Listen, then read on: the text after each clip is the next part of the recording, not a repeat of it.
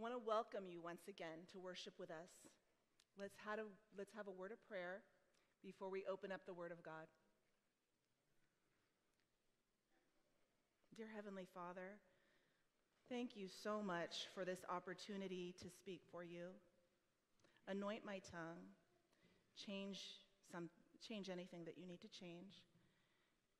And I pray that you prepare the hearts and minds of everybody here for the message that you would like to share with them.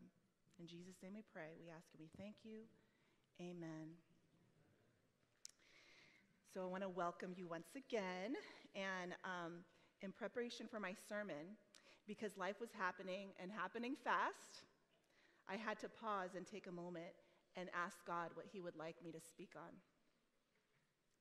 Last Sunday, I was reminded of a dream I had just had. On occasion, God gives me dreams, but I, I don't always understand the meaning because I think God wants me to take the time to really talk to Him in a deep and personal level and observe how He's taking care of things in my life. He also wants me to study the words some more to find the meaning of the symbols because they're not always clear until I compare them with God's word. And the Bible says in Isaiah 8:20, "To the law and to the testimony, if they speak not according to this word, it is because there is no light in them." So I wouldn't want to do that.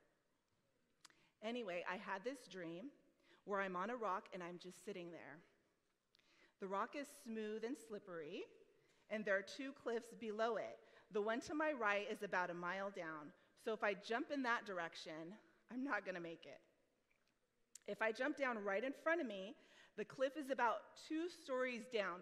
So I would technically make it, but I would get severely hurt. Now, way to my left and about 20 feet ahead, there's an easy way to get down. All I'd have to do is take a step down into safety. But getting there would be kind of tricky. With the last option, I would have to step onto the foothold below me to climb onto the rock beside me. I just have to get onto that rock. The rock is really sturdy and wide, and it feels really safe. Once I get onto it, it would be hard to fall. I would have to purposely go in the wrong direction and then jump off. Once I'm on that solid rock, all I have to do is follow the path that leads to a, a safe step right onto the ground. Now, when you're, when you're rock climbing, a foothold is a little tiny piece of rock that supports your foot when you're, when you're climbing. But those rocks, they're very, very small, and you have to be in fantastic shape in order to pull yourself up onto the next level. But the foothold does not look very promising, and I'm way out, way out of shape. I wanted to cry, but instead I just sat there frozen in fear. Suddenly I wake up and I'm like, oh, this is my sermon. I didn't understand what it meant completely, but like I said, God likes for me to pray and recall other times when He's spoken to me and when, he, when I've studied His Word. Now, I'm going to put a pin on the dream. We'll get back to that. But first, I'd like us to open up our Bibles to Proverbs 14:12.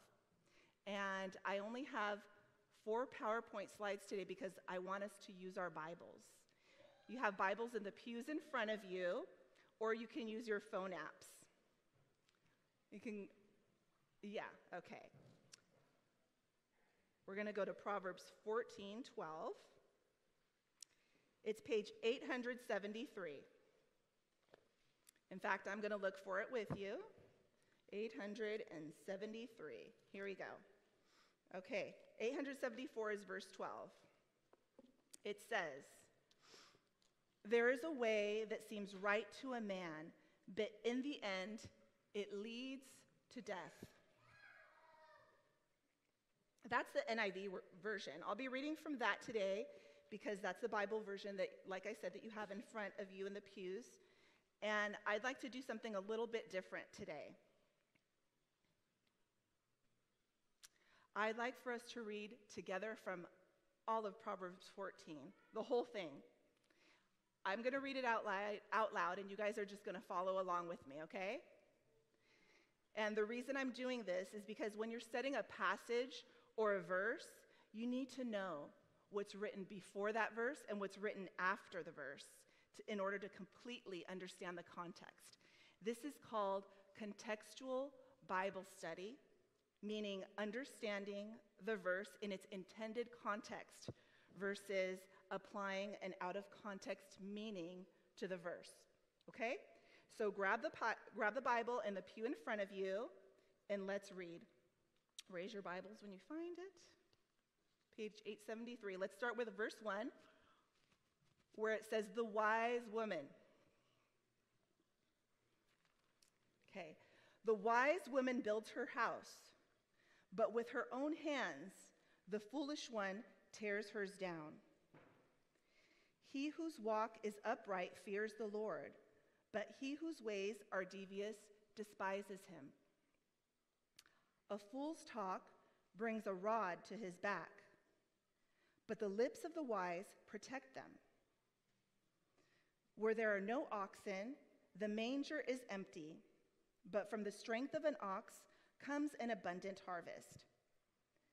A truthful witness does not deceive, but a false witness pours out lies.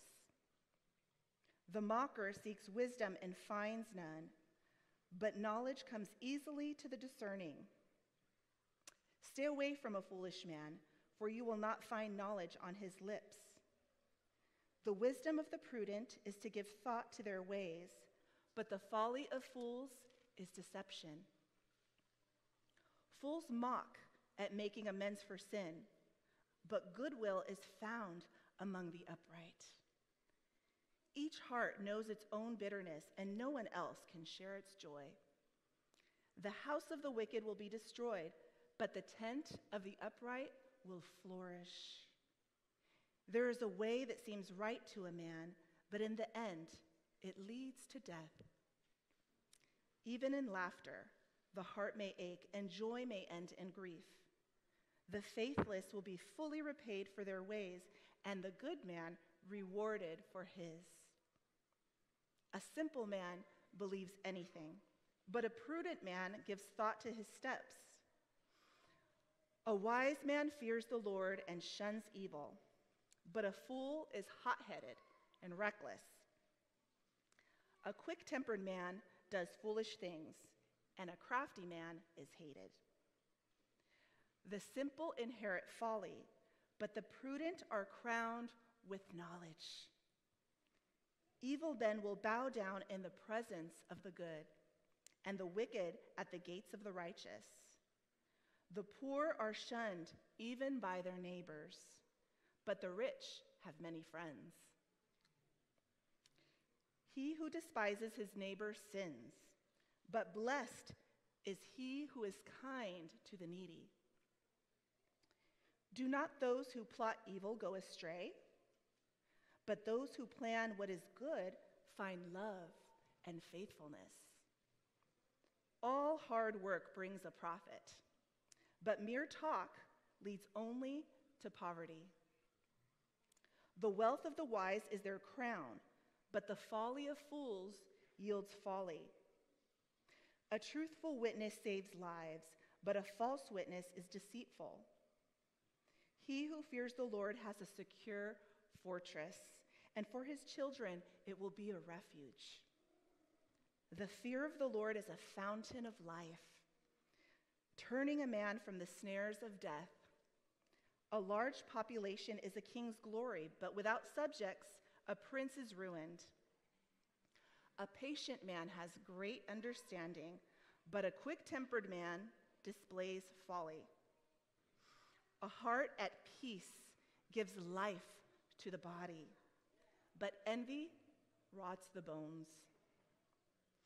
He who oppresses the poor shows contempt for their maker, but whoever is kind to the needy honors God. When calamity comes, the wicked are brought down, but even in death, the righteous have a refuge. Wisdom reposes in the heart of the discerning, and even among fools she lets herself be known. Righteousness exalts a nation, but sin is a disgrace to any people. A king delights in a wise servant, but a, a shameful servant incurs his wrath. So we're talking about foolishness and wisdom here. I'm sure that each one of you, like me, found that they can relate to something in this passage because we've all sinned and we've all fallen short of giving God the glory that He deserves through our own foolish actions. But God is so good and so forgiving. He wants to pour His life into you and into me. And that is why we are here, friends. Today, I'm going to focus on Proverbs 14 12. In the King James Version, it says, There is a way which seemeth right unto a man, but the end thereof are the ways of death. So let's break this down and get deep, okay? I'm going to go Hebrew on you because that's the original language that the Old Testament was written in, okay? So we'll look, let's go to the next slide. And um, perfect. The reason I'm doing this is because I want you to understand the context. It's much deeper when you learn it in biblical Hebrew because the Hebrew language has a lot of meaning, especially in biblical Hebrew. They may use less words because each word is like a story, whereas English is very direct. In biblical Hebrew, one word can have several meanings depending on how it's used. For instance, if you use a preposition or a pronoun with a certain word, it can change the meaning. Or if you use two different words that have a similar meaning, it helps you to understand the context in which the author is trying to use it. Sometimes in biblical Hebrew, they also combine words to build a part of the story in that one combined word. In this passage, the Hebrew language uses eight words. In Hebrew, instead of reading from left to right, like we do in English, they read from right to left. So I'm going to start with that word that, that, that word that looks kind of like a W. Okay? I'm going to read very slowly. And if my pronunciation is bad, I want you to excuse me because it's been over 10 years since I've taken biblical Hebrew, okay? But it sounds something like this Yesh derek yashar lipneish. Weacharita derek mavef. So that little word from, from the other slide that looks like a W on the upper right, that's yish. I don't have time to tell you the whole story behind the word, but it means exists. Let's go on to the next slide now. And um, the context here is referring to human wisdom.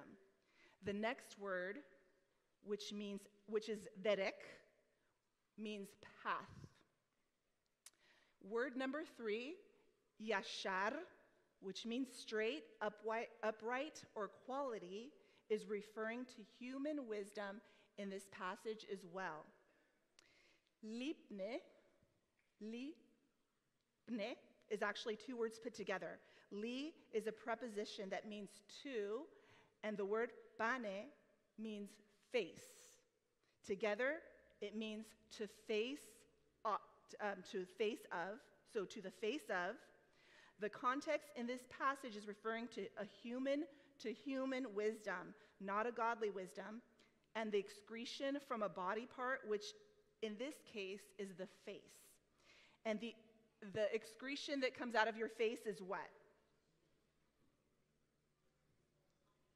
Is talking, yes, it's your words.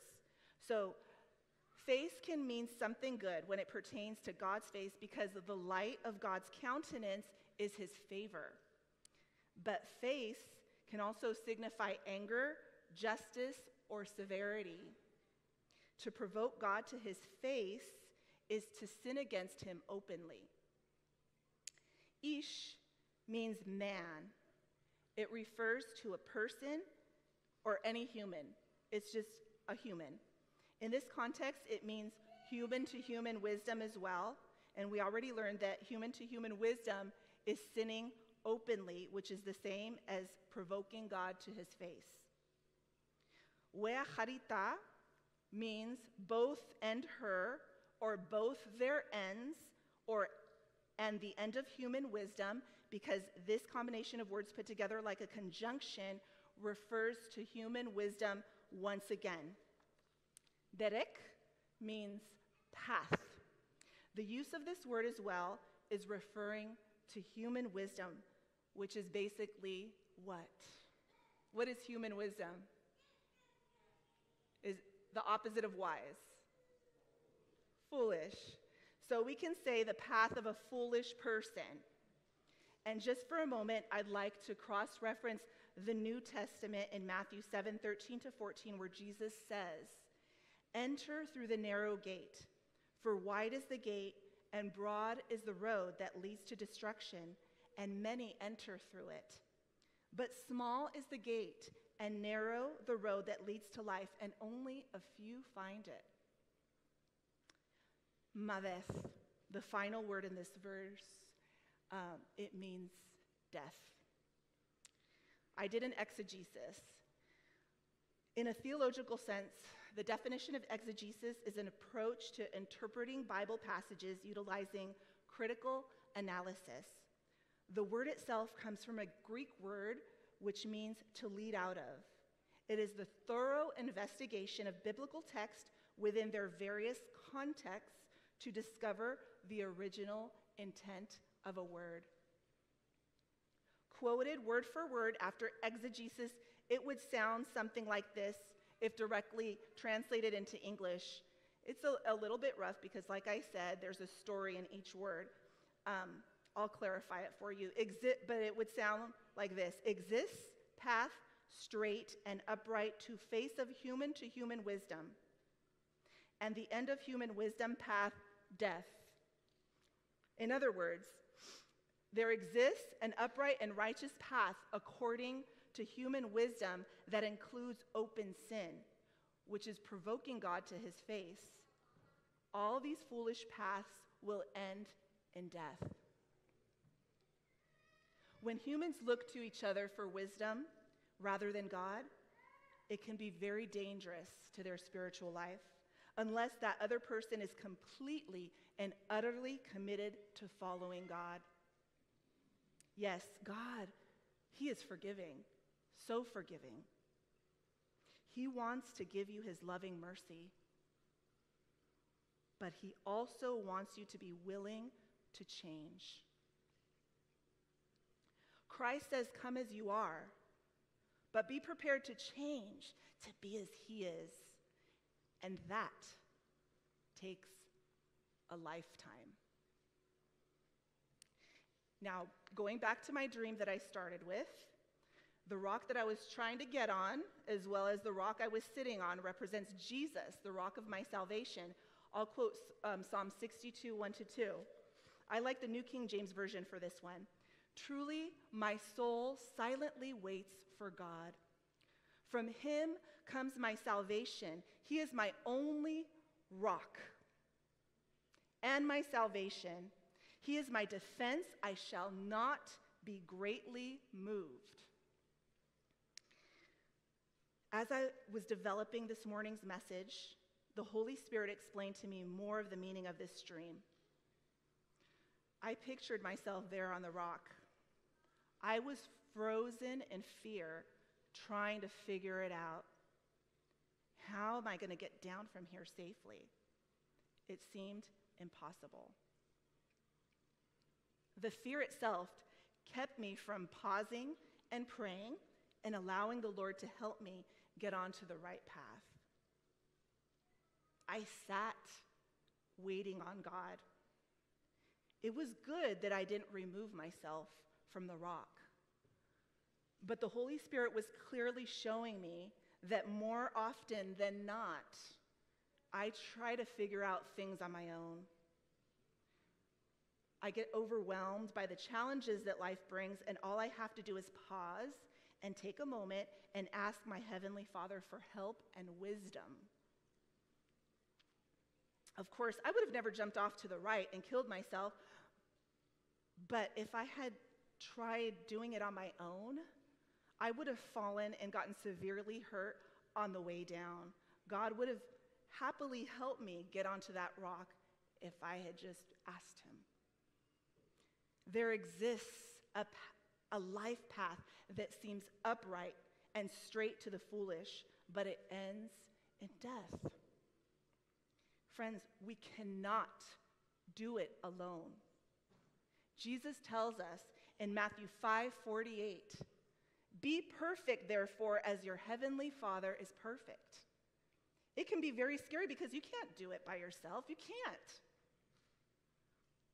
I, I'm, I'm so tired. I get so exhausted. I'm frustrated. I don't want to be tired anymore. But we have three choices we can be cold, hot, or lukewarm for God. In the book of Revelation, which is the revelation of Jesus Christ to us, he tells us through John, he wrote, uh, he says, John, write the following to the angel of the church in Laodicea, Revelation 3, verses 15 to 17. It says, I know your deeds, that you are neither cold or hot. I wish you were one or the other. So, because you're lukewarm, neither hot nor cold, I am about to spit you out of my mouth. Those who are cold may have chosen to completely live outside of God's will. They don't go to church or call themselves Christians. They've either completely given up on God or they don't know anything about Him. If they don't go to heaven, they don't care because they don't want it. They don't want it anyway. They don't want to. They've never, or they've never heard of it. Their relationship with God is non existent.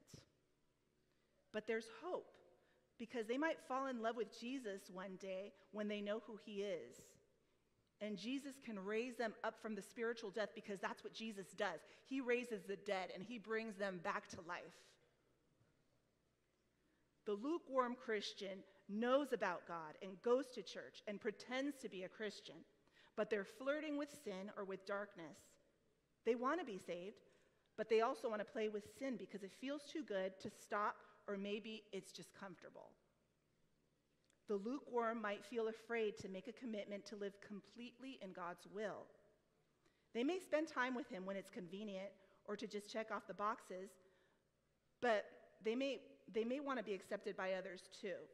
So if most people are doing something in, in their heart that they know is wrong, they try to justify it because they don't want to they don't want to be wrong or they don't want to feel wrong or look like the weird one or lose their friends or even their family in some very severe cases. Others may not really care about what others think, but they're not completely ready to give up on their cherished sins. They've consciously chosen, or, or unconsciously, to not live out the Christianity of the Bible, which tells us in 1 Peter 2 9, but you are a chosen people, a royal priesthood, a holy nation, God's special possession, that you may declare the praises of him who called you out of darkness and into his wonderful light. They may really like God, but only when it's convenient. They're not passionately in love with him. Even though some may feel like they are, they are, it's a feeling that comes and goes based on their emotions rather than a personal relationship with Jesus. The hot Christian represents the people who really want to live for God. These are the people whose hearts belong to God. They've completely fallen in love with Him and they're dependent on Him. They have their ups and downs, yes, but when they fall, they are so sorry because they love their Jesus. Just like you, when you love your, your kids or your husband or your, whoever you're really close to, when you do something to hurt them, you are so sorry because you love them and you don't want to hurt them. Now, without a daily, intimate relationship with God, without abiding in Him, it's impossible to be truly sorry for our cherished sins and to please Him. The Bible says in Hebrews 11, 5 to 6, By faith, Enoch was taken from this life so that he did not experience death.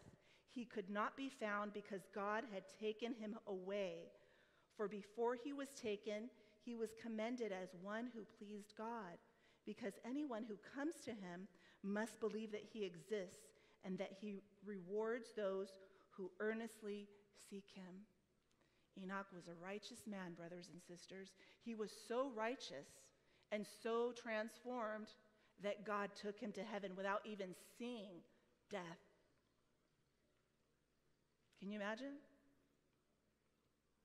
Romans 10:17. I like the NKJV, the New King James version for this. It says, "So then faith comes by hearing, and hearing by the word of God." So, to be able to handle the temptations in this world, the hot Christian takes time to listen to their dear Savior and read his word. They've made it their priority. They abide with their Jesus to gain strength and wisdom in how to handle their day. They study each passage and absorb each and every word because they're hungry and it's, it's satisfying that hunger and that thirst for righteousness, asking God for wisdom and understanding. They may even journal, but every day they, they involve God's in their, they involve God in their plans, no matter what it is. They keep getting closer and closer to God, so they're falling in love with Him. And as a result, they're being transformed into the image of Jesus. Because by beholding Him, family, we will become changed. They want to be better. So they ask God for help in following the right path to righteousness. They may fall into sin, but it's not intentional. And when they do, they are truly sorry. Friends, family, there is a way that seems right to a man, but in the end, it leads to death. Like Pastor Gary mentioned in his sermon a few weeks ago, referencing activities that we would engage in if Jesus was standing right next to us or hanging out with us for a day. What would that experience be like for you and for me? This message hit home for me. I need to involve God more in my day. I don't get it right all the time. I don't. And I feel so terrible that I become overwhelmed and sad and anxious. But God is like, Linette, or Julie, or Jean, or Michael, put your name there. Take a moment. Pause. Stop focusing on yourself. Come, follow me. We need to involve our Heavenly Father in every aspect of our life. We cannot work towards the perfection of Christ on our own. We need His help. We have to prepare ourselves and open our hearts to be changed, to be prepared to go through that purifi- purification of character that our sinful nature resists on a daily basis. Maybe, maybe you're on the other side of lukewarm. You live a pretty good life according to human to human wisdom, anyway, but that's not God's wisdom. What is it according to God? Because the Bible says that human righteousness is like filthy rags. You're not excited about God anymore. You don't spend much quality time with Him, but you're trying to be perfect on your own. Some of you are so tired that you're thinking about giving up on God altogether. That's what the enemy wants. Don't give him what he wants. Don't let the enemy of souls toy with you because that is what he's doing. He doesn't care about you. But Christ adores you. He died for you. He already paid the price for your sins and your shortcomings, which is death, so that you can have the gift of eternal life.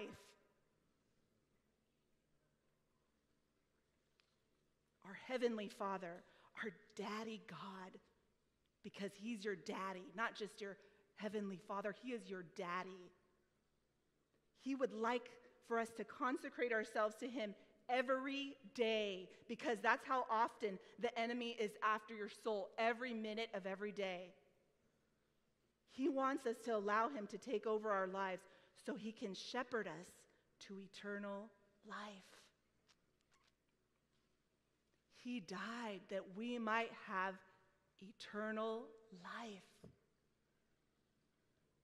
Let that sink in. But he will not force himself. He is a gentleman. He needs to be invited. Who wants to take a step and recommit their lives to Jesus Christ today?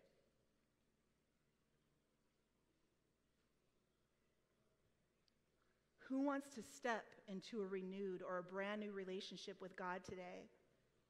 Committing your heart, committing your mind to Him, trusting Him to help you to become the best version of who He created you to be, who is ready to trust God wholly and completely. And He created you for eternal life, by the way. We're not meant to die. It's easy. God made it easy. All you have to do is spend time with Him. Make Him your best friend, make Him your priority. If He didn't want you to have eternal life, you wouldn't be here right now.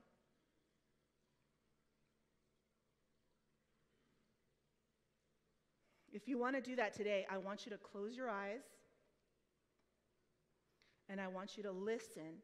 I want you to have a silent conversation with God while Cindy and Haziel sing the closing song, and then we'll pray for you after.